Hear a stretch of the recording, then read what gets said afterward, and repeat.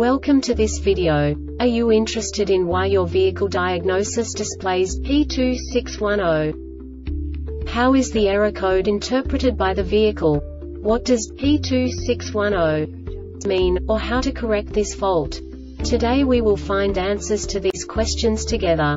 Let's do this. First, let's look at the history of diagnostic fault code composition according to the OBD2 protocol, which is unified for all automakers since 2000. We divide the electric system of automobile into the four basic units. Powertrain, body, chassis, network. This distribution is defined in the first character code. If the second character is expressed as zero, it is a standardized error. In the case of numbers 1, 2, 3 it is a more prestigious expression of the car-specific error. The third character specifies a subset of errors. The distribution shown is valid only for the standardized DTC code. Only the last two characters define the specific fault of the group.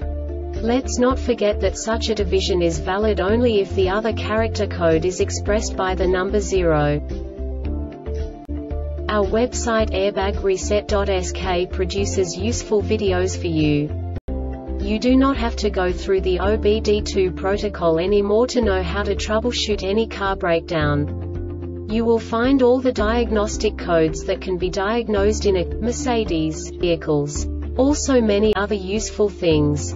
The following demonstration will help you look into the world of software for car control units. You unbelievably can move the video a bit further. The error code is split into two bytes consisting of 16 bits. One bit is the basic unit that each computer works with. The bit has two logical states.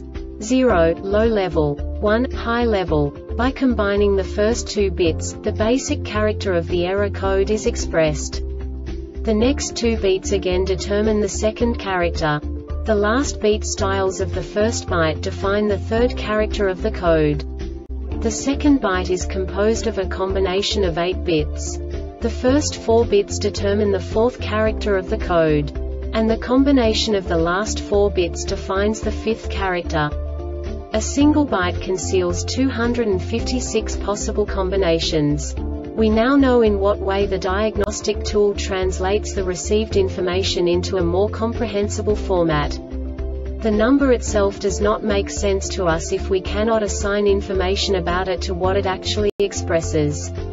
So, what does the diagnostic trouble code P2610 interpret specifically Mercedes car manufacturers? The basic definition is solar load sensor 1 circuit. And now this is a short description of this DTC code.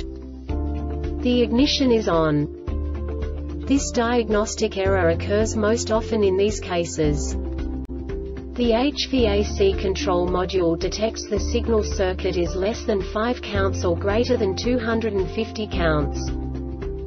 The Airbag Reset website aims to provide information in 52 languages. Thank you for your attention and stay tuned for the next video.